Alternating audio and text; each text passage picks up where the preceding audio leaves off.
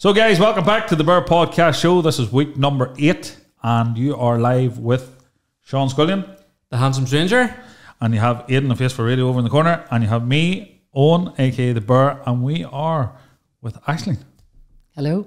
How Nice to have you here. Thank you for having me. Yeah, very welcome. Um, look, we'll just jump right in, Aisling. Um, Why not? Tell us a wee bit about Aisling. Well, my name is Aisling, as you've said. I am from Kildress near Cookstown in County Tyrone. I have a son, Killian. He will soon be 11.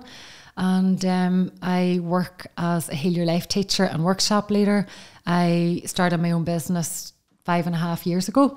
And um, really, the impetus to start that business came from my own personal journey, where I suffered with anxiety for many years, uh, depression, um, many times in my life didn't want to be here, had a really unhealthy relationship with myself. I absolutely despised myself and everything about myself, and um, my inner world um, was not was not good. But of course, people from the outside looking in would have seen probably a pretty picture perfect life, but that wasn't what my inner reality was like. And I had a breakdown in 2008 where I really thought I had lost my sanity and I really couldn't see how I could make it back to being a normal functioning person who would go to work and go and do groceries and you know meet people out and about I I felt that I had lost that ability and um, that is when my journey of self discovery and self healing and self love began. And that was in 2008. And I was introduced to Louise Hay's book, You Can Heal Your Life. And um, I really didn't see how a book was going to help me. To be honest, I thought I was too far gone, but I didn't really have any other options. Um, well, I didn't feel drawn to counselling and I didn't feel drawn to going on medication. And I knew that I couldn't keep doing what I had been doing. So somebody recommended this book, and that book ended up being an absolute lifeline for me. Um, and then when I started working on myself using Louise Hay's theories and started growing in awareness of myself and my own patterns within myself, within my way of thinking, and um, within my way of responding to life, and in the actual experiences that I had been attracting to me, then I became empowered um, to change. And I noticed, um, firstly, a lot of physical healing in my body of chronic long term conditions that I had. Um, and I started becoming more tolerant of myself, more accepting, more patient, more gentle, and um, really my inner world started to blossom. And I had worked in my family's business for 18 years, and I expected to work there all of my working days. I was so, so passionate and so committed about what I did. But then, really, my passion for this inner work and how transformative it had been for me took over. And it was really bursting to get out of me, if that makes sense. And there was no outlet for all of these concepts and practices that had been life changing for me. There was no outlet for any of this in what I did every day or in my life. So I um, handed in my notice to do the Heal Your Life teacher training when I couldn't get the time off work to do the training. And really, that was the first decision that I made that wasn't based on fear my whole life. It was the first time I really listened to and followed my intuition, and it didn't make any sense. I didn't have a business plan, I didn't have a client base, I didn't have savings. You know, it, it, it didn't make any sense. And I was married at the time, and it took both of our incomes to pay our mortgage, pay our bills. And um, whenever I left my family's business, actually on that same weekend, my husband, who I had been with for 22 years, actually left on the same weekend. And that was just over five years ago. So, really, all of the security that I had relied upon for 18 and 22 years all fell away just like that. Yeah. So, then, so for people that don't know, um, Your Life, life with Aisling, what, what does entail? Or, you, you know, if, if I was coming to you, say, that for whatever reason, mm-hmm. you know, life's knocked me back a few places or whatever else. What type of help would you be given to me for people that don't know? Mm-hmm. I suppose I always find my work hard to describe. I don't find it difficult to do, but I find it difficult to describe because I suppose it is very intuitive. So, really, I make a connection with the person in front of me. So, obviously, then each session is unique because each person and their experiences and the things that they're struggling with are unique to them. So, really, I make a, a connection with them and I get a strong sense of what it is like to be that person, if that makes sense. So th- there's just that deep connection. And from that place, I help a person to see themselves and their life and their relationships with people and their past in, in an enlightened way. I suppose it's a bit like, say, if you were to climb a mountain, you would have a better vantage point. You would be able to see things at the top of that mountain that you physically could not see at the bottom of the mountain. So even though nothing in that person's life has changed, in the duration of the session, they come out and they feel like a different person because they're seeing everything in a different way. It's like they're seeing everything through a different lens or a different filter, which changes their experience. Through different techniques? Through, um, I suppose, maybe using some of my own experiences and showing them maybe similar experiences that I've had and how I've overcome them. And then that, that means that they can be objective because you're taking them outside of their own world and you're then they're able to see, you're able to trace that journey when it's of somebody else. So they can connect with that person yet it's somebody else so they're able to see that clearly so then they can sort of step into that themselves. But but yes through talking through some um, energy work through some different practices. So i suppose i don't want anybody to leave me um, enlightened um, with with new ways of thinking only because sometimes then it's hard to know what to do with everything you've you've uncovered in that session. How do you integrate all of these theories, which might be amazing, but how do you actually integrate those into your everyday life? There can be a big gap there between, say, a book that you read and then what do you do with that? Then it falls away and you just revert back to your normal patterns. So I like to give people patterns to, or sorry, um, practices to empower them after their session with me. So um, simple practices that they can integrate into their life easily, that don't cost them any money, um, that they can do in a matter of a couple of minutes here and there through their day. And um, these practices are really life changing. And then that changes the person's relationship with themselves. And yeah, well, look, we, we chatted just before we come on there, and I said to you that I had one of them weeks. Yeah. And that I felt this tightness in my chest Mm-hmm. and couldn't get it shifted and I knew there was things that I was being irrational about, Mm-hmm. and I just couldn't like I couldn't click out of it. I was like, I know this is all me, but everything's not like everything is going, everything's annoying me. Mm-hmm. Wouldn't matter if I got a you on, looking to know what time we were doing this show, yeah. and, and I was blaming, why is he not texting me back? He knows I have children to sort out and this, that, and other. So like the likes of me coming in and going, I've I've been feeling this tightness in my chest for months. There's obviously something going on deeper. You know, mm-hmm. what what is that something that you would be helping people with? Absolutely. You know, it, it might sound a strange thing to say, but we're not taught how to breathe. And that I know that sounds like a oh. strange thing to say, but it's But- true. but you're totally right, So yeah. if we haven't been taught how to breathe and we're not consciously breathing, we're breathing unconsciously, which means we're not breathing properly. It's happening involuntarily all by itself. But I believe that our relationship with our breath is symbolic of our relationship with ourselves and our relationship with everything and everybody in life. I mean, um, for years I couldn't get a deep breath. I felt like there was a weight on my chest that was obstructing me. It felt like an actual physical weight, but of course it wasn't. Um, and then whenever I started practicing abdominal breathing, I found it really, really difficult. In fact, at the start, I thought I can't do this. Um, but with actually very little practice, I was able to to change the way that I breathe completely, and I then was breathing from my tummy rather than breathing from my chest, and it allowed me to be able to get a much deeper breath. And now my breath is something that I'm not every second, every minute of every day, but it's something that I am quite conscious of now. So if I ever feel overwhelmed um, or worried or emotional, that I will go to my breath and I will draw a really deep breath all the way down into my stomach.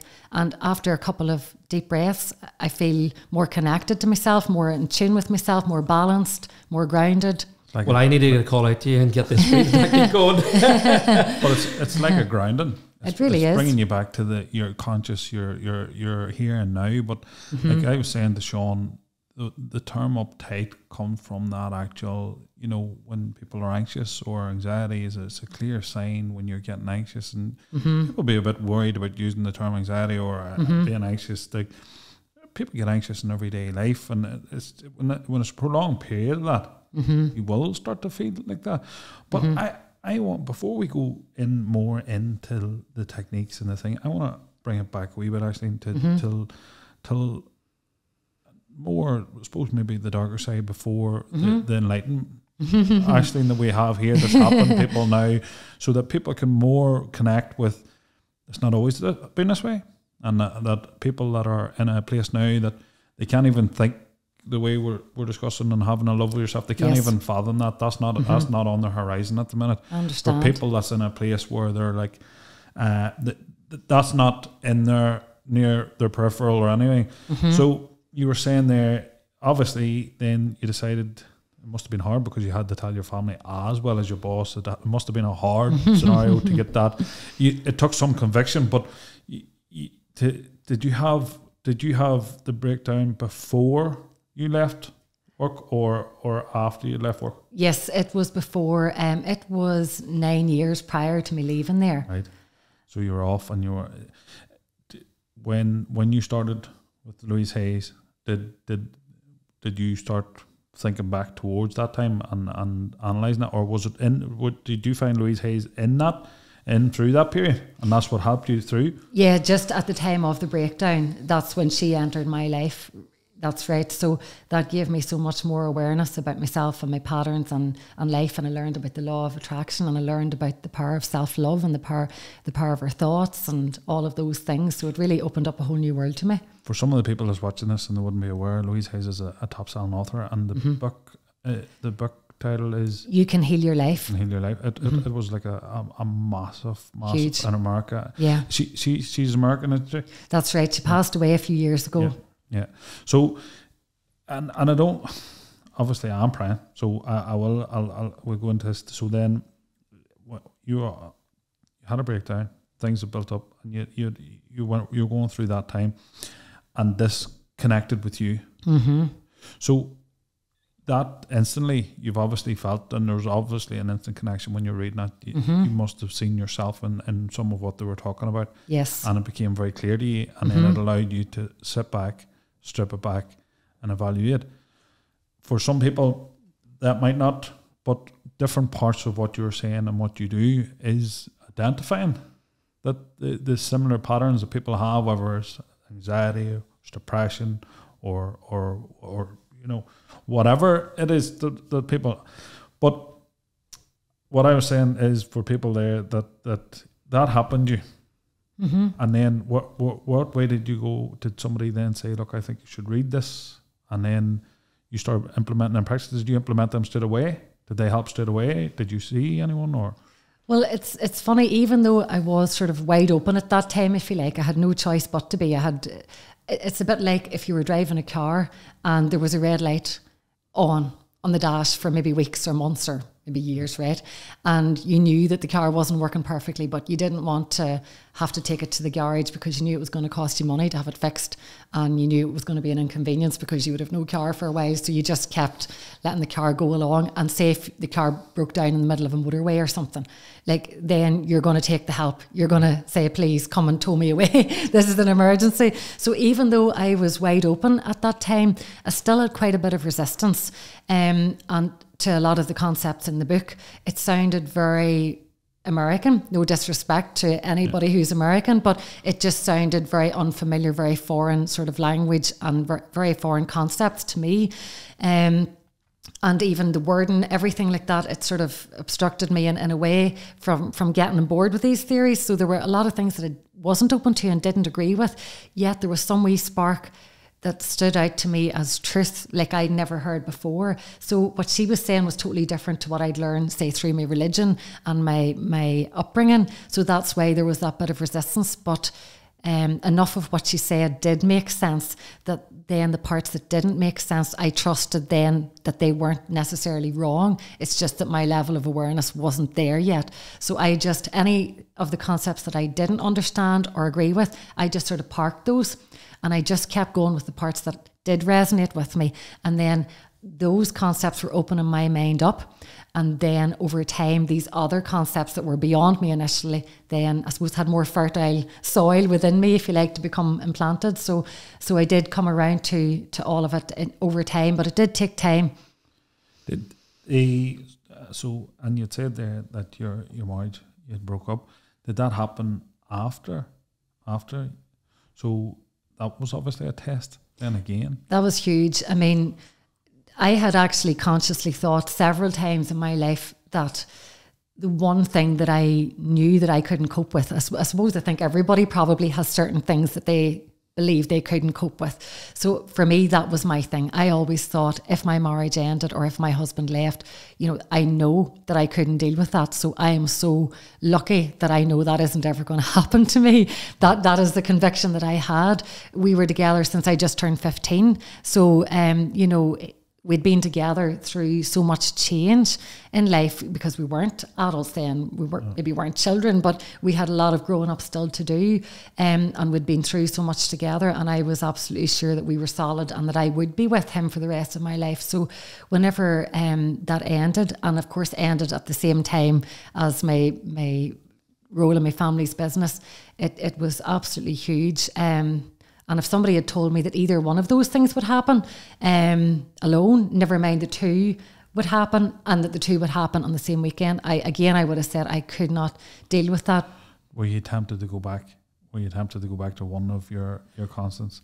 um, well, that's a good question. Um, it's funny again, I suppose I saw it as an opening in my life. I, I thought to myself, well, he couldn't have picked a worse time to leave. Like, how come he managed to stick me for 22 years? Why could he not stick me for like another week, month, you know, six months, something like that? Why that exact weekend?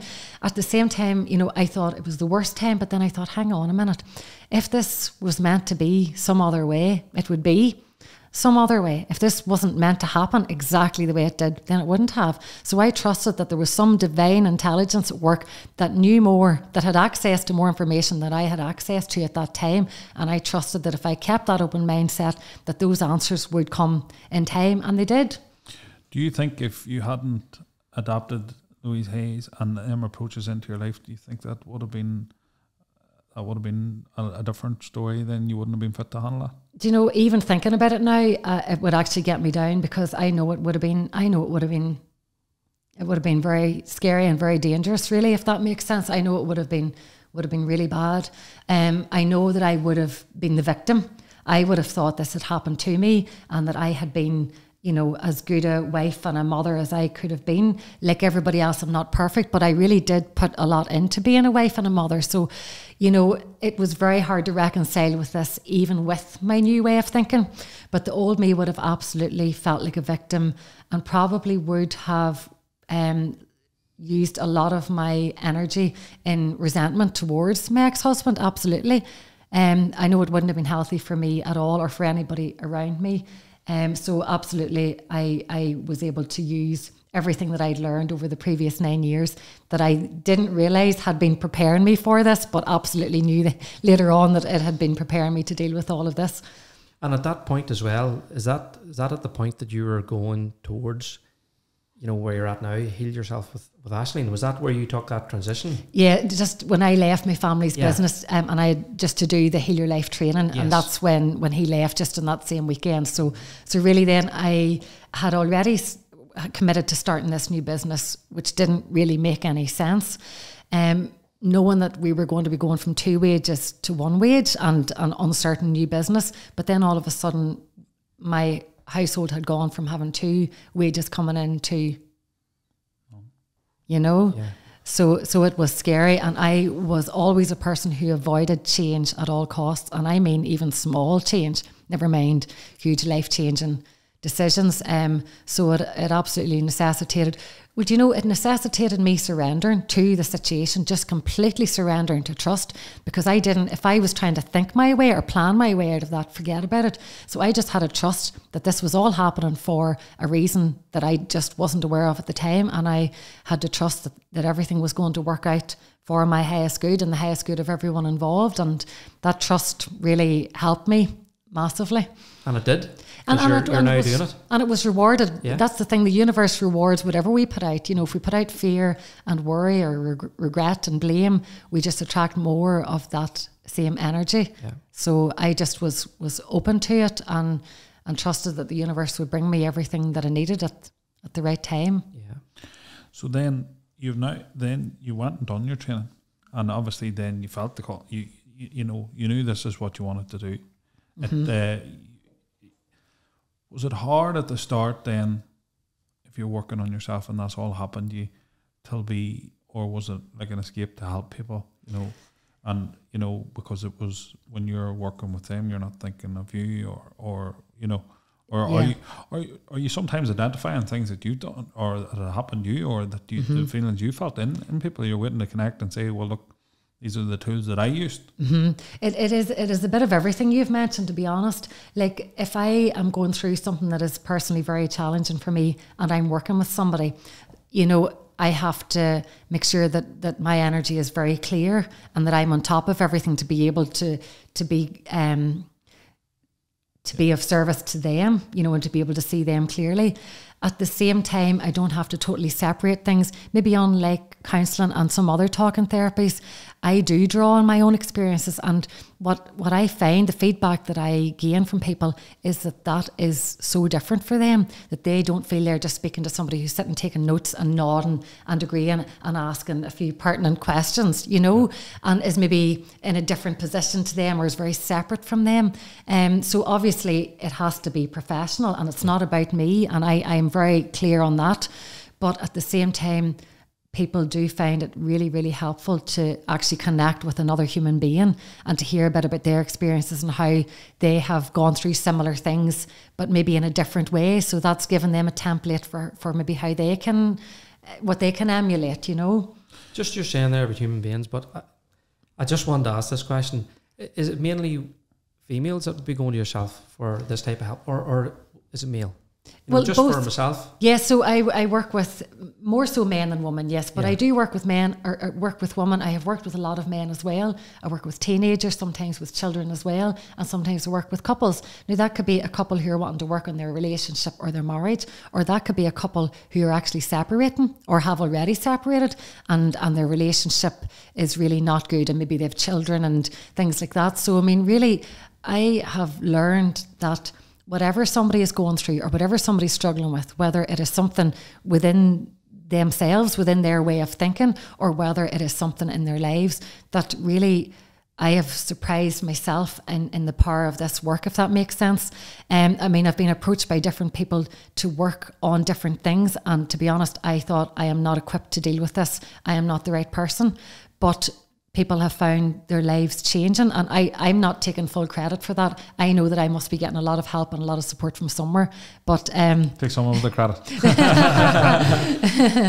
but you, you seem very at peace with yourself and, and when you're discussing them things because I feel like we're prying away with sometimes asking that and I, all I wanted to do was to give people a, an idea of where where you were and where you come you, you you have a young boy and you obviously had to continue a, a certain level of a relationship with your ex-husband because you're co-parenting.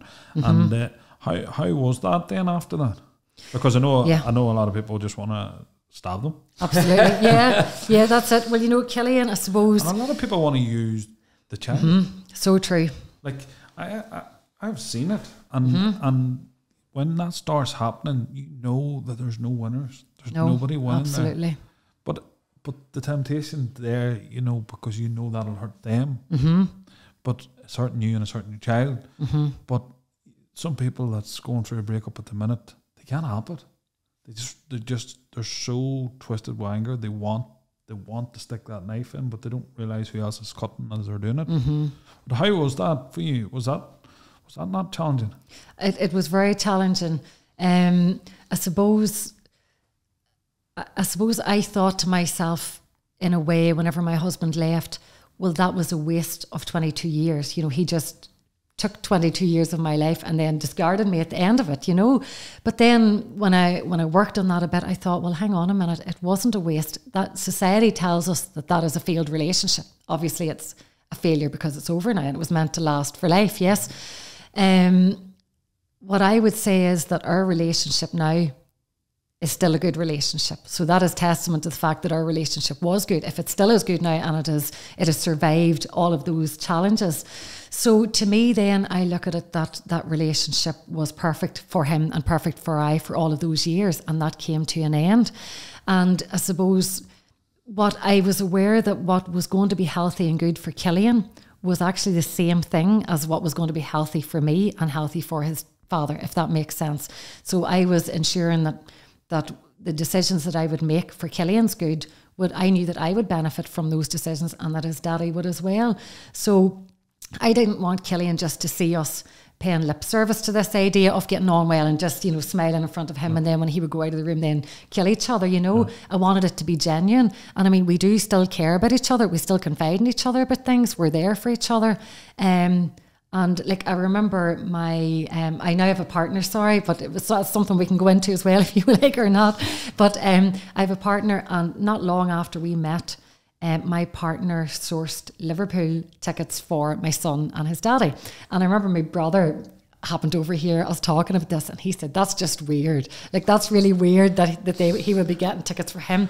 And I thought, you know what? It's weird for it not to be that way because the way I look at it is, say if you start a relationship with a person, or you get married to a person, or you have a child with a person. That is the same person. You chose that person. You have to take responsibility for your own choices, not for their behaviour and what they have done. But I mean, that person is the same person at the end of the relationship as they were at the beginning. And, you know, we have to see ourselves in all of our decisions and take responsibility for everything in our life, you know. There has to be also a level of respect too. This is what I always said. You can fall out of love with somebody, mm-hmm. but not being respectful. You know, not you know if, if this was somebody that you cared and love for, mm-hmm. you know, just have the respect. That's I think it. a lot of the time is people have no backbone and they don't Mhm. want to uh, uh, say the thing and do the thing right. And there's Mhm. there's two ways to always do things, and sometimes I think they take the easy way because it's short term. Mm-hmm.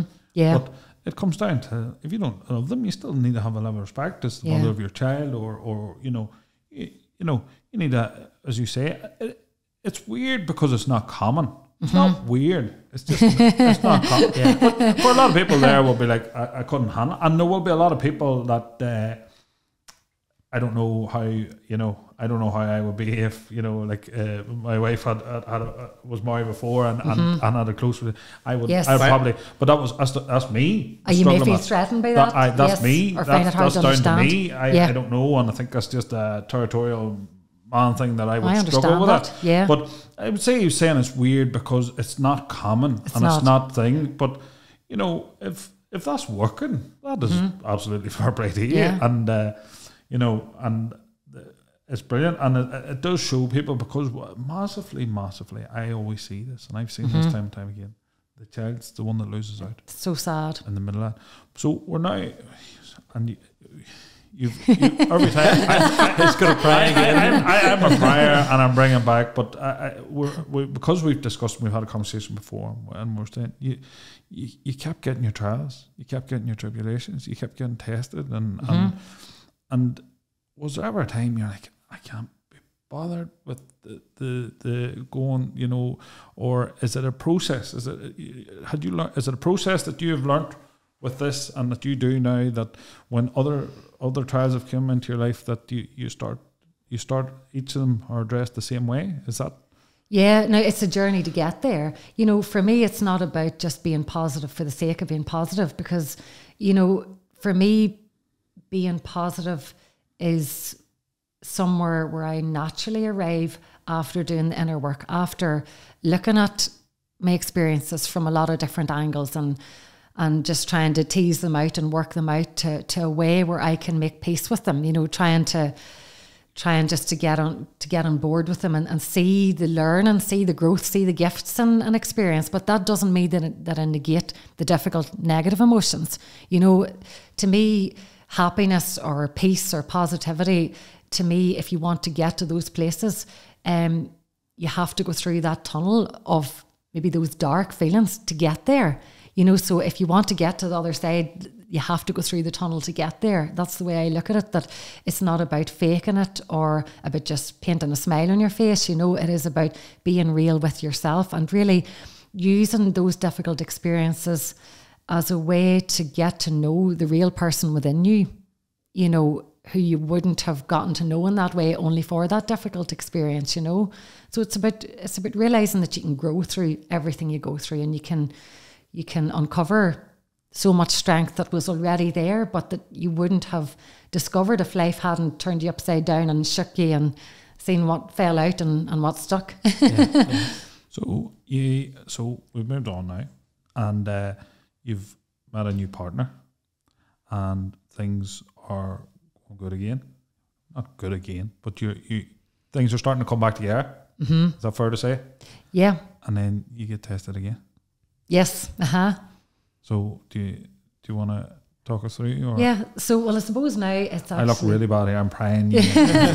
but No, it's not just because we've had a conversation Of before. course. and- no, and- I'm and- open because I mean, I don't know somebody listening to this, you know, could be helped by hearing this, whether this particular experience is one that they can relate to or whether it's just that this is a difficult experience and it gives them a, a different way to, to maybe relate to difficult experiences they go through. So it's I can now say last year, which is great. It's it's last year now. But in April last year I was diagnosed with breast cancer. And um, I don't know what what else do you want to know? So uh, this, so this is what we were discussing. Sometimes Yeah. this is an awkward subject for a man, and Yes. Mm-hmm. and, and shy away. And me, I, I, I don't know. The I'm trying to be that I'm not coming across completely ignorant, and I probably am ignorant because I don't know. But it must have been scary. Like that Mm-hmm. Yeah. must have been like there, there's another. Like, you're bound to be saying at this point, where am I getting the break here? That that- yeah. that uh, you know so what when you got the diagnosis or you obviously suspected a lump or was it a routine scan or Mm. Yeah, I found a lump myself, yeah. hmm and you know so that's that this is see it's awkward because men want to shy away from this and they don't And- Of course. And, and we, we spoke before this here, and I said to you that um, a good friend of mine, his wife, had the same.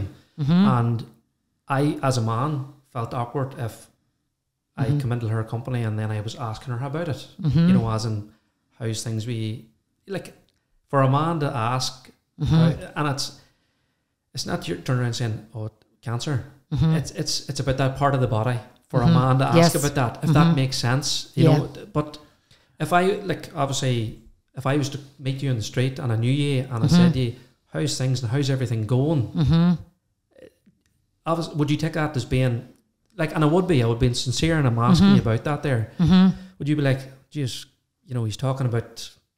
My breasts, okay. Mm-hmm. I'm just, I'm saying it. Do you know what I mean? even though? though I But Sean you know what- that is a very but you know what I mean, though. is. Like, Yeah. I'm, I'm, he's asking about my breast here. Of course. Sort of like a taboo Yes, topic. exactly. Yeah. and, and it's just like it's none of us effing business. Yeah. hmm yeah. But I'm only asking because I care. Uh huh.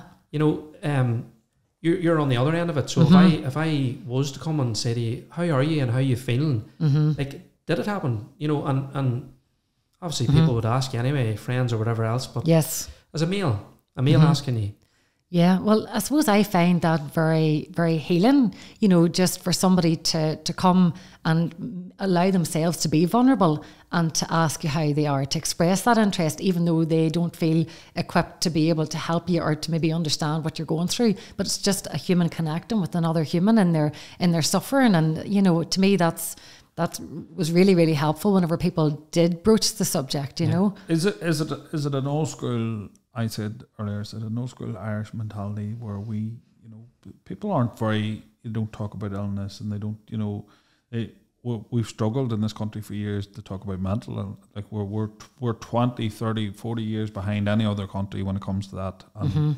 um you know it's a very old stiffer step upper lip don't let on and thing. But uh, so I think sometimes that's more, you know, people think if they don't ask, it's not there, or you know, they avoid the subject, or Uh-huh. or worry then that you might show a vulnerability to them, Mm-hmm. and then they're like, there, there is literally people petrified Mm-hmm. of people crying to them. yeah, There is people petrified. You ever see that? Like, you know, I don't know Yeah. what to do. yeah, So that's happened to you, and then you, obviously you're petrified. Everyone's petrified, even using the word. So we're all Mhm. petrified of that, Mhm. and and it's becoming so much. It's one and two people now affected. So Mhm. like, there's there's four of us sitting in this room. So Mhm. like, you know, the the statistics is there for us for anybody to be scared or discuss it or or not every every person's now been touched. There's nobody Mhm. that's not been touched, or it hasn't been close to, or is close to at the minute. Mm-hmm. It's it's a very very, and that's why I find that you know it shouldn't be a situation that we're we're we're pussyfooting about and talking Mhm. about Yeah. because that you should be fit to talk about it and Absolutely. ask, and ask Yeah. that question. At- at and the only point. reason you're asking it is from a place Mhm. of you care about that Yeah. person. Mhm. Yeah. So then, actually, um, what what was the process then? You, you diagnosed after lockdown. So was it after lockdown? Yes, it was in 2022. That's right. Yeah. Which uh, was that early or was it? I know I'm asking this, but uh, Mhm. there is there was people in lockdown that got diagnosis and then got a, a, a delay in, Right. in, in seeing and and yes. treating because there was things that was closed or held up and hmm stuff like that. So obviously, you're, as soon as you get that there, you, you just you, you must be petrified. And, and what Yeah. then? What was what was the process then? Well, I suppose I had to have quite a few mammograms, MRI scans, needle biopsies, different tests to ascertain exactly the type of cancer, um, what stage it was. And there was a query on the, the other side as well. Um, and there were queries on a couple of different areas on the one side. So one test to, to give an answer seemed to then show up something else and then that required another test so that was very disconcerting because that drew out the whole process? Yeah. that's it. And, and really yeah it was sort of scary thinking what what am I, I facing here? So whenever they had um, all of the information gathered and were able to give me a, a proper diagnosis then they were able to formulate a treatment plan. So that um, involved surgery and um, nine sessions of radiotherapy and then a hormone tablet for five years then because mine was hormone sensitive breast cancer so. Well, it uh, and what what what way are you now? Is it ongoing treatment? Do you, do you get tested every so often, or what way?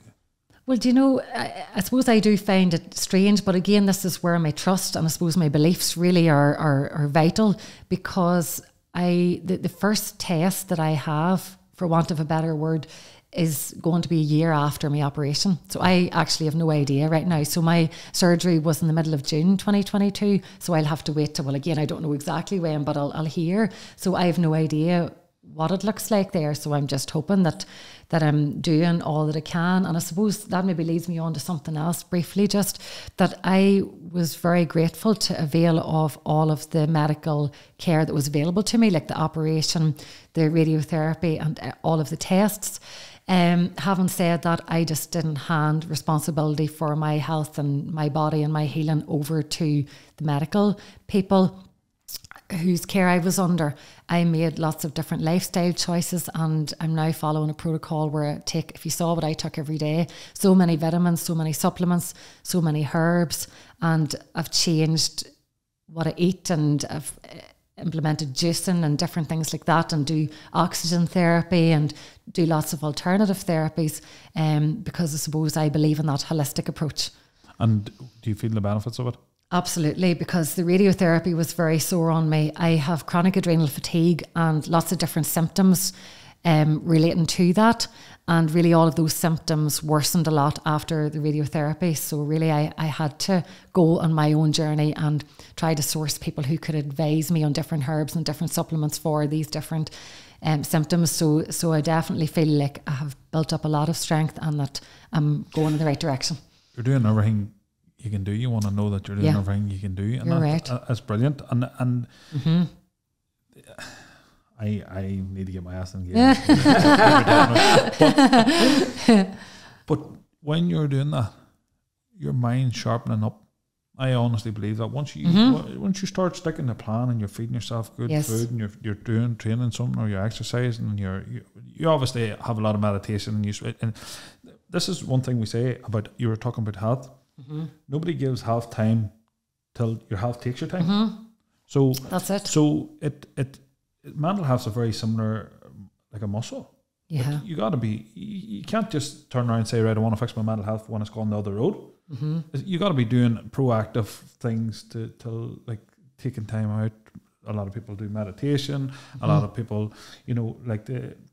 It's different for me. I like to take. I like to take my cub out to Romana and, and let him rock and roll, and it's great Mhm. meditation for me. I love seeing him laughing and playing around, and thing. People have different things to do, and Mine's obviously, swimming. Is- hmm Brilliant. Someone get into the pool, The reckon That's it. the, this cold wa- water therapy. Only you know I'm not a good man with the cold. Remember we went swimming cold, Yeah. but the reckon it's cold water therapy. But what I mean is, Mm-hmm. you're right. There is other things. There's alternatives. Mm-hmm. There is other things that you can do to make yourself feel better. But we're going to now come back because we, we, we- there's going to be people here. January's a hard month. It's it's. Mm-hmm. Is it me or does it just seem like the country the last while there, we've had a lot of fatalities in the road? Mm-hmm. Yes. We've had a lot of, of local people well known have passed away. We've just a cloud seems Mm-hmm. to be over.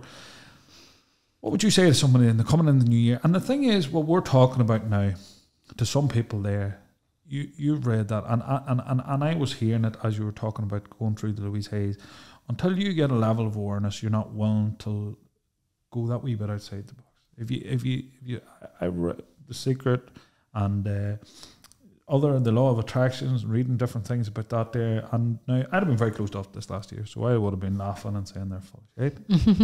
but as your awareness grows a wee bit, another wee bit creeps in. Mm-hmm. And true. there's things that you're now more open to, till the thing. So as you were saying, when I first read that, not really. And Mm-hmm. let's face it, we're we're we're from Cookstown, you're Kildress, It's a country town. We're we're well away. We're well behind the city. Well, and then as you, as you come up the Omagh line, we're getting further and Oh, further yeah, away further from the water. sticks we are. So so some people will say, "Oh Jesus, you know, they're they're down drinking in the river, like they're drinking Yeah. the water." But Mhm.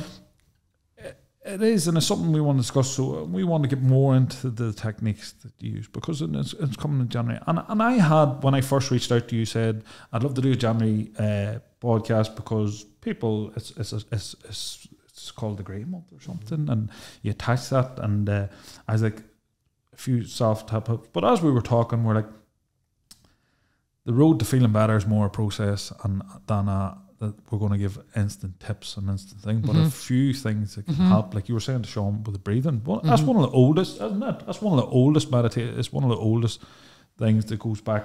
Like I think they had that, like you know, in some of the oldest books recording that over in Asia they would try breathing techniques for relaxing, and and the monks would use it, and it's hundreds of years old, and Mhm. they would meditate solely through concentrating on the breathing, solely through trying to think on nothing else. Mhm. But some of the techniques that you would use, obviously, people come with different things, Mhm. and you're trying to relate to them and, and what you think would work with them, and you have the techniques. Is, is and one thing I want to ask you is Louise? Hey, is anyone?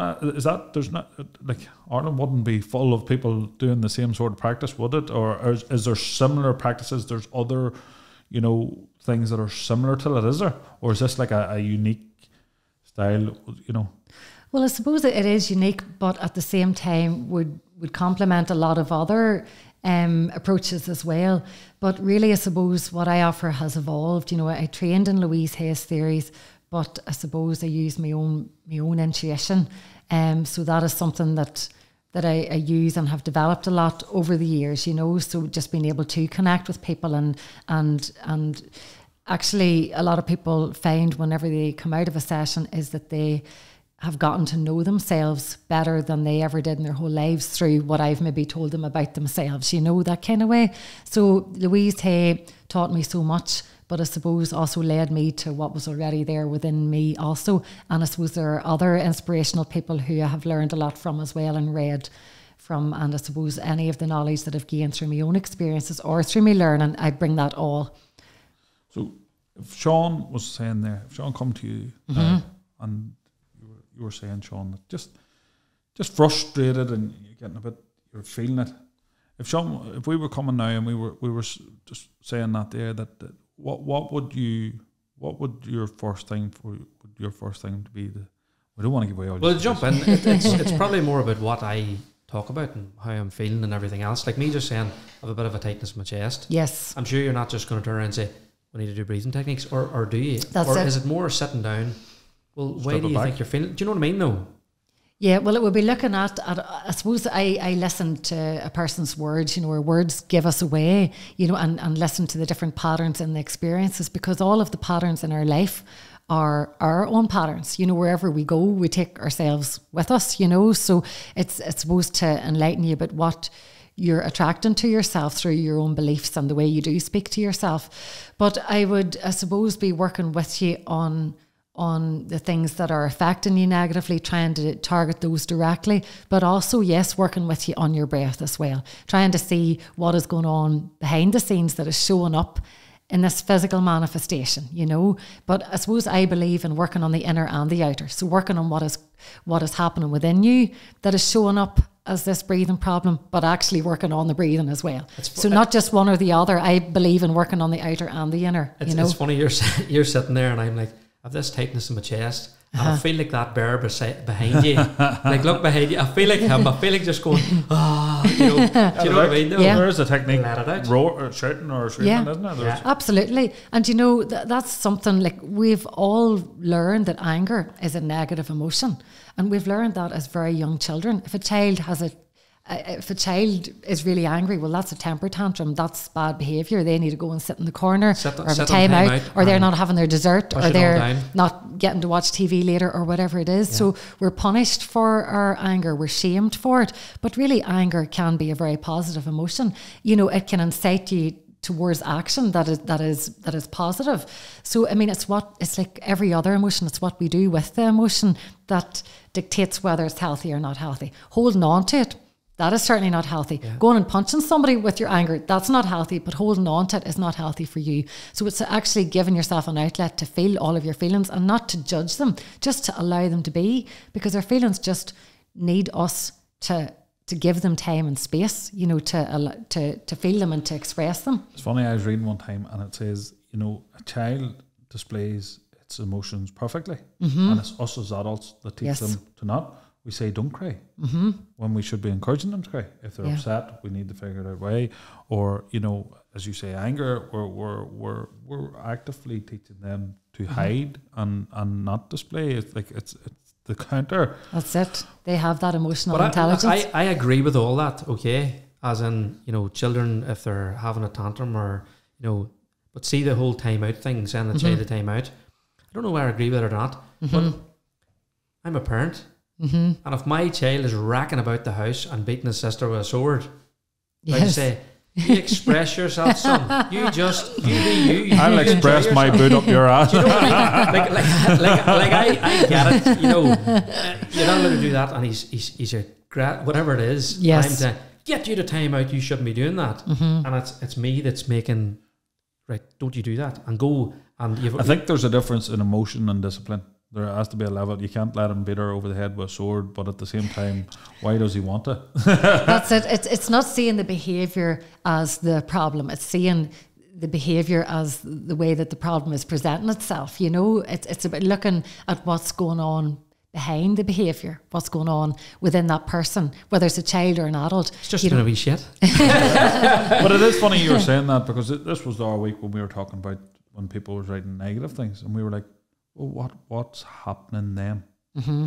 It's not it's not me that they're, they're writing stuff about, but it's not me that has that that immediate issue. Mm-hmm. Yeah. What what is what is wrong? You know, they're, they're obviously going through it. Yeah. And and like that's that's you, you actually. I, I, kept on saying it. I was like, mm-hmm. some people are just negative towards you, mm-hmm. and it wouldn't matter what you're doing. Yes. I was like, the joke that we make is they just need a hug. Yeah. but honestly, though. But it's even like you, you were saying this week that you were affected by things that normally would just run off you. You know, how we see and feel about everybody and everything is a reflection of how we see and feel about ourselves. You know, we're projecting, we're looking at everybody else through the same lens through yeah. which we're looking at ourselves through.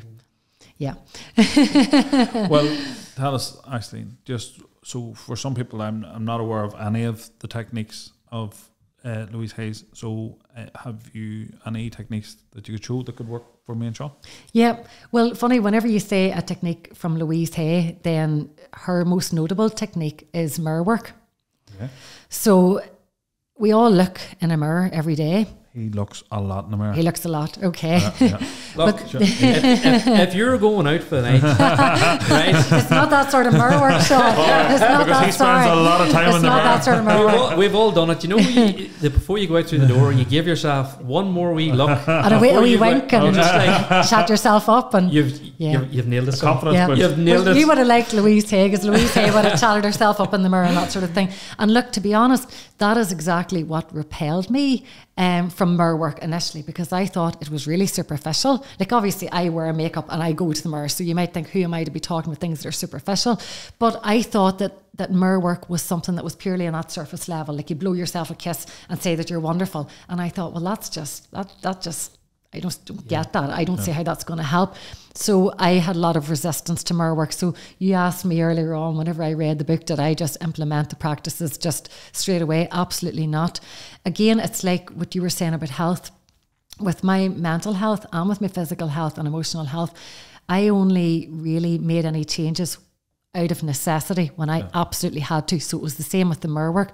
When I first tried mirror work, very reluctantly, um, I said to myself in the mirror, looking into my eyes, um, the words that Louise Hay says to say in the mirror. And those words were, I love you, I love and accept you exactly as you are. So when I said those words to myself in the mirror, I found it very, very difficult to say it. But once I said it, there was this almost violent backlash that this like voice from within me said, I bleeping hate you. That was how I felt about myself. So I thought to myself, I'm never going to do this again. I'm never going to do mirror work because that feeling of hatred that I felt, I didn't ever want to experience that again. And of course, in my very simplistic view at that time, I blamed mirror work for how I felt about myself at that time. But of course, this type of mirror work was just bringing to the surface and reflecting back to me how I already felt about myself. But I didn't want to feel that any more strongly than I already did. So I boycotted mirror work for nine whole years. And I only revisited mirror work again that time whenever I left my family's business and my husband left me. And I was going about in a daze. And I thought to myself, okay, I had just done the Heal Your Life training with a lot of mirror work and still did not like it at all, still was very uncomfortable with it. But I thought to myself at this time, with what I was going through, I knew I needed some more support. And I thought, all of these emotions that I'm experiencing that I feel totally engulfed by, I need to bring all of these emotions to the mirror. And I had no idea what I was going to say when I got there. I certainly wasn't going to say, I love you as you are, because I tried that before and it was awful. So I just took myself to the mirror and made myself very vulnerable because there were a lot of emotions there and none of us want to feel those painful emotions or, or see them. And when you go to the mirror in this way, there is nowhere to hide. So I went to the mirror and I looked into my eyes, and the words that came out, I don't remember if I said it silently or if I said it out loud, but the words that just came out of nowhere were, You're okay. Everything is okay. And those words, I didn't believe th- those words were true. Those words were the opposite of what I believed to be true. And if somebody had told me that that I was going to be able to reassure myself more so than somebody else, I would have said no because I always looked outside of myself for validation, for acceptance, for help making decisions, for security, for everything. I never looked inside myself, and a lot of people don't. But whenever I connect with myself in the mirror, um, at this time of pain, I really made such a connection with myself that I had never made through my whole life and not through the nine years of working on myself the long, hard way. And I learned then that what Louise Hay said about mirror work, um, that it is the quickest way, maybe not the easiest, but it is the quickest way to make that connection with yourself one of unconditional acceptance and love. That that's when I learned she was right. Well, you have brought. I very kindly brought two mirrors, and they're um, heart shaped mirrors. Well, well, we're off to a good start. So, So you're going to give it a go. I love the wee gold one here on. Yeah. Sorry, I love the wee gold one. the wee gold one, yeah. so what is it we're doing? Well, I haven't really thought too much about what we're doing either, so this is a bit outside my Well- comfort zone, if that's well, any help, because I'm sure it's that's no outside yours. And I don't feel comfortable doing this with you, Owen, to be fair. Right, Just Sean, you look Kiss in your own a mirror, and I look in mine. But just before we go into this, and we will go into this, and, and I Uh-huh. don't, I'm not making line because the, the Yeah. uh, uh, well, it took you nine years, so we're only going to give this a go now. So I know. Just the thing. Yeah, But they say the first person you lie to is yourself. it's true. So the probably the hardest part of that is is Mhm. at that point you're you're- you're not. and the, and the facade and and, and Yeah. the thing that you're you're talking. Sometimes people don't like the person they become more than It's the, true. This thing. Yeah. So I would say I've seen I have seen this. Now you're saying mirror work. I have seen it, it like a positive affirmation where you're talking to yourself and you're you're, you're looking at Yeah. yourself and addressing yourself and, and Yeah, and I mean, you can use it in the morning for motivation and you can use it to psych yourself up. But I suppose the way that I'm going to be guiding you is, is a wee bit deeper than that. But you Yeah. can use it in the morning, going out saying, like, we're going to have a Uh, really well, good day or Yeah. whatever it is. that lighthearted with Sean's joking, he goes, I, I give myself a wee wink Yes. on the way out and say, You're looking good. Eh, There's there, there's there's some there's some truth to that. Absolutely. if the, the last thing he's told himself before he left the house was Mm-hmm. he's looking good, he's feeling good. That's it. And it's know, that positive affirmation too, yeah. Well, I said this before about people find things and they might look at this and they go, What shit are they doing and all. But it's what it makes you feel. That's and, it. And and I, you know, I said this here about other other like mindfulness and, and people do things and people from outside and more often than not is something because they have something going on and they have something to say about them. But that person's feeling great. So who's the real loser Yeah. in, in, Yeah. in that? Yeah. You know, you you're a bit angry and you want to give it off and you're saying something negative about it. That person's loving life. Yeah. Mm-hmm. Who's wrong? Who, you know, That's it. who, who, yeah. who's the fool? Right. What? am- So what am I So saying? for, so for myself? people that's listening, though, Yes. we're now sitting with two So mirrors Yes. of sorry. So so anybody at home can go to a mirror or go and get their own Yeah. mirror Yeah, now if yeah. they want to partake as well. But on, on a yeah. more serious level, Yeah. if somebody is now, and, and we will we'll bring this back, Mm-hmm. January, um, maybe they're in debt, maybe Mm-hmm. they didn't get, maybe they got bad news at Christmas, maybe they're, they're man out, maybe they're losing someone. Well, let's ground it back. So you would say, we go to the mirror. Yeah, well, well, really, I suppose to give a, a wee bit of background to it, um, this is really about learning to become your own source of everything that you have been lacking or everything that you ever may need. It's learning to look within yourself because in the world we live in, we're taught to look everywhere but within ourselves. To change our appearance to have that this house when we have that car then we'll have made it you know to have a relationship to get married to have that house to have a baby to have another baby to lose the weight whatever it is you know we're looking outside of ourselves and a lot of the places where we're looking not only are they not helping us they're actually harming us you know? So really this is about just stripping it all back and connecting with that person who you have been with through everything you've gone through through everything you've been through in your life and this person who you're going to be with for your whole life and really making that deep connection being so deeply rooted within yourself so that no matter what happens in your life that that, that connection gets you through everything you know and that you trust yourself and that you know you have everything you need within you that you're ever going to need you know and sometimes you know i'm going to be guiding you with words to Yeah. to facilitate making that connection Yeah. but really when you get used to doing it the words are like a, a prop that you know sometimes might help and sometimes you don't need. A lot of the time i just look just look in the mirror and there are no words. Because say if you're feeling in a fog or you're feeling like your energy is off and you don't know why like the way you've been this week you don't need to ask the questions. You don't need to get the answers. Just making that connection is all that you need. But, but even looking at this mirror now, like yes. you don't even just sitting here now with the mirror, you don't Yes. actually sit and look at yourself. at the person Yes. no it's Like, about even, this even hair now, I'm sitting looking at myself. Mm-hmm. As you say there, before I come out through the door, I, I was putting a bit of gel in my hair, making sure I was shade, you know, yes you know what I mean, and walking out through the door. And that purely But you- surface level But yeah sitting here now and actually looking at myself. I actually look tired, you know. But but honestly though, and I know this is maybe we're it's, it's not about that, but just to sit Sorry. and look, he's distracting me sorry but Sean. just to sit and look at yourself, you know what I mean? Mm-hmm. When when do you ever do that? No, that's it. We don't. And you know, that's something I say to a lot of people after they've done it because every client I guide through mirror work finds it really difficult, but really, really powerful. And the thing is that what I say to people often at the end of a session, if we've done mirror work, is that we've kind of spent our whole life looking everywhere for things that will make us happier or healthier or feel better about ourselves. And we've and the answer is literally at the end of our nose. Like when we look in the mirror, the answer is literally staring us in the face every time we look in the mirror, but we're looking everywhere but there. Yeah. So You we'll know. try it. Okay, okay, okay. yes. Okay.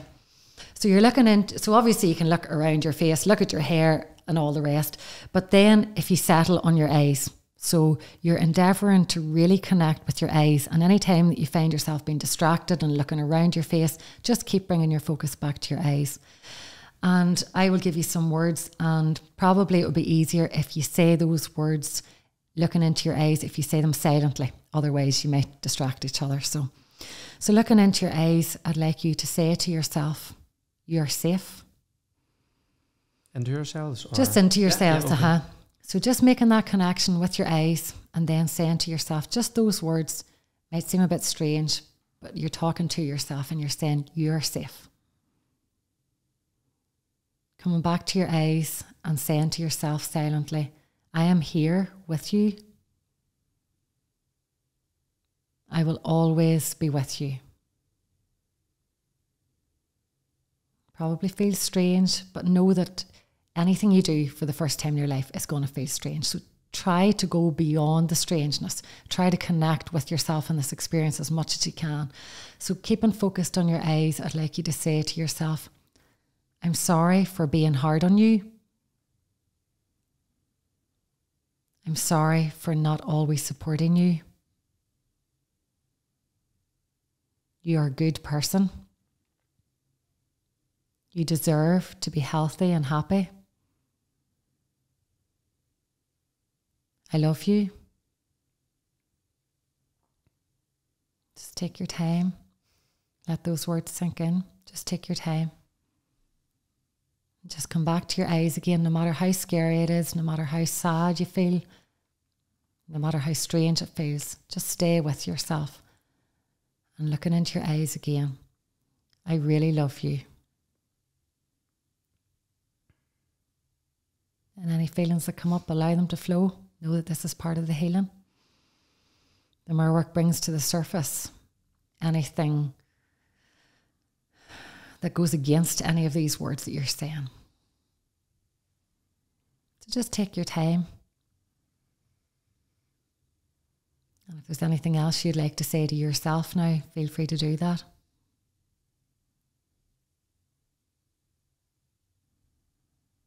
And just whenever you're ready, you can set your mirror down, but take your time. Holy fuck.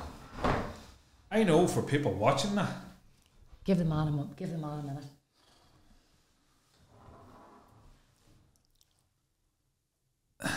There's going to be people watching that, right? And that they're not going to. They're not going to understand that. Yeah. But I, uh, just what we done there now, like this is obviously going out and it can be replayed. I would love people that's listening to this right now to go and grab a mirror, Yes. rewind it back, Yes, and just do, do it. exactly what we done there now to Yeah. see That to go to go through what we done there now. Well, like I don't know if anybody can see, but Sean, I mean, can well, I mean, uh, do I you want to say? I- how I feel right now is Yeah. I'm really hard on myself. hmm Like like I mean really hard on myself. Yeah. And and you could see and feel that more intensely Yeah. there. hmm Like I know I'm anyway. I know Yes. I'm hard on myself, but whenever you're actually saying that to yourself, Yes. you're like, why are you so hard on yourself? Well, to me, that's the quickest way. We all live here. This is where we live, and this is where we've been conditioned to live mm-hmm. all of our life. Nobody's ever actually said it, but that's what the whole world has taught us. But the mirror work is the quickest way to get from here all the way to here. Yeah. And that's where the healing happens. Yes, mm-hmm. changing our mindset, changing our thoughts. But I suppose I describe what I do as heart centered healing. Yeah. To me, that's what makes it different because a person is really, really connected authentically with themselves, you know, and that's what you just did. And this is about like feeling vulnerable too, Mm-hmm. because obviously this is going out to Yeah. the world as such. but there, there, there is your vulnerability. We instantly like this. This is, I suppose, my instant reaction there was, "Oh shit, we're back here, and this is something we're recording and going out." Delete. and, and not, not, No, but it's not. not delete, not delete, but explain. Explain, It's- if yeah. any of you are sitting there and watching that, and you're like, "What the?" Do it. Do it. Just do it. Yeah. Just do it. Do That's it. Do that Yeah. and do it right. Hold because I, one thing I says to you was that me and Sean be open to doing, Mm-hmm. and we do it. Yeah. Do something like that Mm-hmm. wholeheartedly before you make the comment or pass. Absolutely. Yeah. Because it's intense. It's funny. It shot up a regret in my life just out of nowhere. An instant regret I had that has haunted me. And it just, boom, shot it straight up. Straight in. hmm And I, maybe it's different for people. What all I would say is, if you're watching that, that, that would, weird. Well, look, Freaky. It actually freaked me out a wee bit now. Yeah, but I have to say, the, the two of you, in different ways, the two of you, you as well, Owen, the two of you afterwards look like different people. Your whole demeanour changed. It's very sobering, isn't it? Mm-hmm. But even even as you were talking and I was just looking at it, Uh-huh. I, I could feel my breathing changing. Right? I felt my breathing changing as I was breathing deeper. Mm-hmm. I said about you know this this tightness in my chest because I'm beating myself up. Mm-hmm. You know, and I'm being hard on myself. I felt like that starting to slip away slightly, Uh huh. Yes. and I do feel better for doing Mm-hmm. that there now. It's hard to maintain contact with yourself. You know? It is. It, Uh, it when, is. when that when that shut up, Because even I as you were talking, away, and you're saying look back, and you, Aye. you're looking every row, Yeah. you're looking every row but but back. yeah, I know that. That's why I would have said that because I know. Well, I think me I wasn't expecting Sean- me and to be sitting here now feeling like I, I, did to be honest now. with you, Yeah. Sean, I, you were I, I, emotional. didn't, you were emotional. yeah. I, I, but I'm going to tell you something. Sean was on to me earlier today, and I actually genuinely was saying, "You're emotion. You've been emotionally charged, and you, you, you know, you've been bubbling. So probably Mm-hmm. that was just it coming up. Mm-hmm. But Up and out. people will be listening to this. Say if they listen to on Spotify as opposed to watching it. Ah, yes. So for what we just done there Mhm. was uh, we we we done mirror work. So Yeah. I didn't know what it was, and now a very perv- I don't know a perverse way that I would like to try and explore that more and thing. And it was probably me and Sean's your next one to sign up. But actually, and and and guys, any of you watching, we will be putting Aisling's details in, and any of you that felt that this resonated or you're you're there and you want to know and you want to do this, we'll be putting Aisling's details in, and they can feel free to contact you. And, Absolutely, and, yeah. and catch up. The there, Sean, it's it's the instant realization where we're back, and it's the vulnerability that comes with doing these things because you put yourself out there, and a lot of Mhm. people will turn around and say, "Look at them too, sappy, it's and blah blah blah." But that's okay. Mhm. That's all right. And I and and I would say, Sean, we're raw at it. We we bang this out because there's going to be also on Mhm. the very flip side, like, the people that are laughing loudest are normally the ones that in the back of their head they're like, yeah. "Well, I, I wouldn't actually mind doing that," Yeah. Below Or- that is just fear. or Yeah. I, That's all. you know, yeah. I wouldn't actually like mind. I'm totally open to trying everything and anything. Mhm. You know, if it if it helps me as a person, well then Mhm. I'm I'm open for it. It's- I think that only come to me as I get older. Mhm. Because I'll be honest with you, if I was watching this ten years ago, I think all three of us are full of shit. no, I, I, Yeah. It's as your awareness grows and as your as you grow as a person, Mhm. and, and and and as things happen and, and and and things that affect your life, or as you grow older and and and you experience different things, it's only then that you realize, you know, you're open to these Mhm. things. And, and that you need these things. yeah, and uh, it's funny you're talking. Everyone looks outward instead of inward. That's it. That, and and like in any, no matter Louise Hay's, no matter how many you go back till or how many even counselling or anything, it's always about stripping it back and looking in because. As you say, some of them will resonate with ours. The core, our core beliefs and values, no matter what the system or no matter what they are, and, and as you said, you could connect with people because there's not a there's not a million different things, a million different core beliefs or ty- you know, people are generally made up the same. You know, you have your guilt, your anger, your your, your thing. So when you, people there that's listening, at, you know, they might think, oh well, that's not really for me. Mm-hmm. But all them things, all them things are coming back till till looking after yourself. And do this is the thing actually. Do you practice daily then things you've learned? Is this it's a it's a pro it is a pro it's a it's you're working your Uh-huh. mental health out? I do, but I suppose I practice different techniques intuitively. You know, for me, um, this yeah. may not be right for somebody else, but for me, it's not. I do this at eight in the morning, I do this at four in the afternoon because I think I should do it. You know, I just do whatever I feel I need at any given time, you know. So it could be going to the mirror, it could be saying affirmations, it could be working on my breath, it could be meditation, it could be lying on the floor, just lying on my back on the floor. I'm and just sort of breathing. zoned out a bit here. You know, Ah, actually, I'm, I'm sort of zoned out a bit Zoned because, out, because yeah. I'm like, why did you feel like that? uh huh. Ho- Honestly, like I'm sitting here now zoned out, and I know you. I'm listening to what you're saying, but I'm zoned out, and I was like, what just happened there? Yeah. Honestly, though, Bit of a surreal moment. ah, it's like, where did you feel like that looking in the mirror?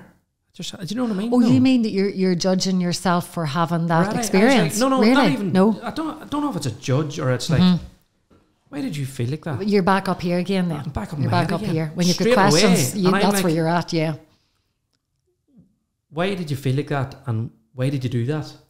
Why did you start showing your emotions there? Do you But know what I mean? though? But that's that you know, if you're looking, are you are you worried? You want to know why for you, for better, or are you worried that you show vulnerability, or, or, or a mixture I'm, of I'm like, is, all of it? is my head? What's Mhm. going on there? Yeah. Something going on with you, boy? You know, why did I? Why did I react how I reacted there now? Yeah, I can relate to that. I would have been exceptionally self critical and harsh. I would have judged myself and questioned and tore apart everything I said or thought or did or didn't do. And it's, it's no way to live. But at the same time, I'm like, I don't give a shit what people be thinking about me or Yeah, anything but it's about else. what you think about you. Yes, I think that's what the biggest Yeah, part is. that's it. That's yeah. why I said It's not about anybody else. eye Contact. Like I literally couldn't give a flying That's- about. Yeah, that's all we're looking for is our of it, own yeah. approval and our own acceptance and our own validation and our own Yeah. love, unconditional acceptance and love, without having to understand, without having to to get those answers, and then the answers make sense, and then you can accept that that nice answer Yeah. that you can tie up and put a bow around it and put it up on the shelf, and and that that's perfect. It's not about waiting to understand yourself and then accepting yourself. It's about that's what unconditional means. There are no conditions, and it's hard to wrap our logical heads around that. How can you accept yourself and there be no conditions? It's about accepting you as a person, you know, the same way that you would accept other people and, and all of your feelings as natural parts of of being a human. Yeah, different side of me now. and don't suppress it. No, definitely not. What is it? Emotions come as waves. You don't push them away. You let them roll away. There's my the oracle. the oracle. The oracle again. He- he's trying to. He's I trying give- to get this to stick. I give The the Oh, oracle. and the oracle. Mm, Aye. I like a bit of And it has- alliteration. I don't. so it, it, that's ha- yes. it, it, uh, full of shite. most people think. but you know what? Actually, it was for us having you come here was a different vibe. It was always going to be different because we, you know, I had said to you coming on, and I'm sure you probably were like, "Why do they want me to come up?" exactly. People get a preconceived idea that yeah. me and Sean, and we are. We're red blooded male. We, we like high octane sports. We, we like a lot of things that the lads like. I've played Mhm. rugby all my life, but we wanted people. We we, we don't want pigeonholed. Mhm. Um, we were open still, and we w- this is this is outside our comfort zone completely from from we we started. And I Mhm. think Sean got more anxious today. He was like, "What way are we going to do this?" And more so than any of the other ones. Mhm. And it was outside our comfort zone for us. Because to be honest, I don't really know anything about it. It's Yeah. not something that I've experienced. Mhm. So then I was like, what do I know about this? Yeah. That's But what I me coming away, like, but at the same time, I was intrigued. I was interested, Mhm. and I was like, And I'm not just saying as you're happy here. It's Do, do you know what I mean? though? And I, I, I was actually in my own head. I was like, I want to go away from this, wanting to, you know, call down the road, Mhm. sit with you, and Yeah. go through a few sessions or whatever it is. Mhm. I'm now sitting now going, I'm definitely am. Don't worry, I have the tissues I there. was going to say, well, well, uh, for a podcast show brought to you by Kleenex. But hey, and it's it's all right till till that there, and it's all right to have a laugh, and it's all right to to have a cry. At the same time, it's all right to have a, a laugh. But I I've enjoyed this podcast as much as I've enjoyed the rest of them. Not because it's completely on what we do, and and and that's what I wanted. And that, I said that to you today. He was like, he's and I was like, why are you getting more about this one? You know, worrying about this one, what we're gonna do. And I was like, this is this is where we start doing different podcasts now. Yes. we we we we've been doing it a while. Sean was very uncomfortable at the very start, you know, Mhm. was Was not. talking and, and but I was like, this is now where we start expanding and Mhm. start showing and and bringing value. I really Mhm. hope that people have watched this today are and listened and they have took something from it.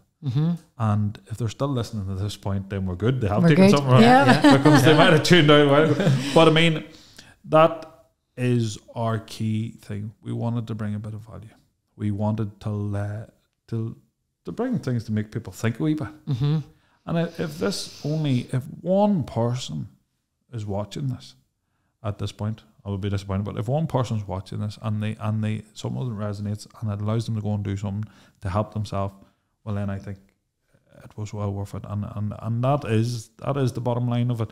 It uh, Actually, I've really enjoyed it, and I think you're an amazing woman. The trials and tribulations you come through, and to have that smile and that, that aura where you just it's positivity.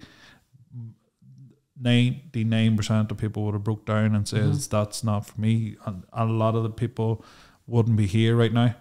But I think it's uh, an amazing testament to you, and thank you very much for coming on. Yeah, and just even closing out, if there was one thing that you want to close out on and say, tell and be it positive or whatever, what, what, what would you like to say to people? I suppose there are a couple of things. The first thing, and I suppose I learned this in the breakdown of my marriage, but I, it was really, really reinforced um, with the cancer journey that you don't have to do anything the way that you see other people doing things or the way that other people expect you to. You don't have to be limited by other people's limitations or even by your own. You know, you can surprise yourself. Like you were saying about the trials and tribulations and so on. I mean, for me, they haven't weakened me, they have strengthened me. So I use everything now that I go through. I harness it and I use it as fuel. I, I, I grow from it. So, you know, to say that, I suppose I would love to get that across. Don't be a victim in your own life. It is your life. Make it yours. You know, get your hands on the wheel, you know, and and learn as, as you go. And I suppose I would like to say as well um, that whenever you make that connection with yourself um, and you learn to love and accept yourself, you really experience everything in a totally different way. It's like I feel like I've got like a cushion around me and that cushion it sounds so cliche but it's my own my own my own acceptance and my own love whereas i used to feel really vulnerable and i used to feel for years like i was too weak for this world i thought everybody else was strong and that i was weak and that i was useless but i've now learned life has shown me that actually no that belief was wrong so i suppose if i can heal and make the positive changes i can i can promise that anybody can do it Yeah, you know brilliant. Yeah. Well, hey, Aisling, thank you very much. It was a pleasure having you on the show. thank you both Thank you it was really lovely coming. It was, I don't think it's the last you'll see of us, but uh, there you go. But uh, guys, that's us. Uh, make sure to subscribe, and if you like what you've seen, sure, and uh, get us on YouTube and all the other usual outlets. Best of luck. Good luck.